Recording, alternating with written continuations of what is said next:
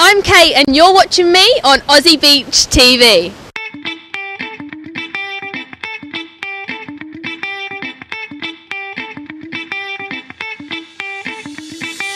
Aussie Beach TV. You're watching Aussie Beach TV.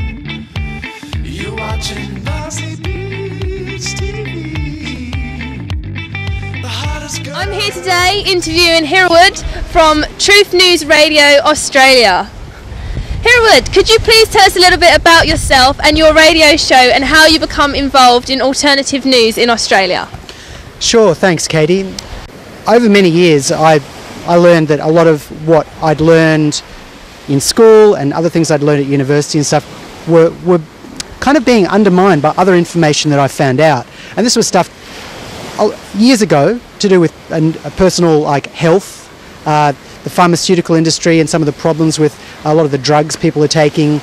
Uh, a lot of what we've been told about uh, history with uh, the wars that have taken place over the 20th century and agendas of geopolitics of the large imperial powers that run the planet. And this all kind of, you know, was, was just evolving and percolating in my mind over many years.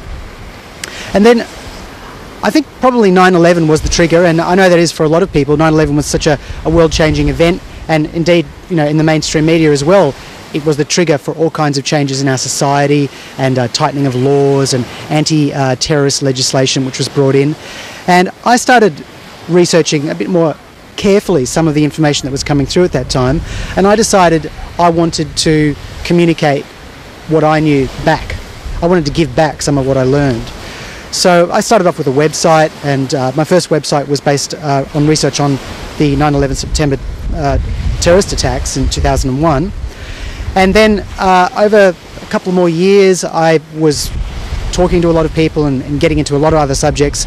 And we decided, I decided with a friend of mine, uh, Josh, to start a little radio show, a little internet podcast show. And uh, that was about four years ago now, almost five actually, getting on four.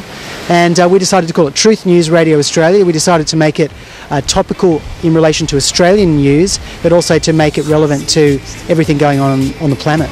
Oh, that's fantastic. Thank you for that.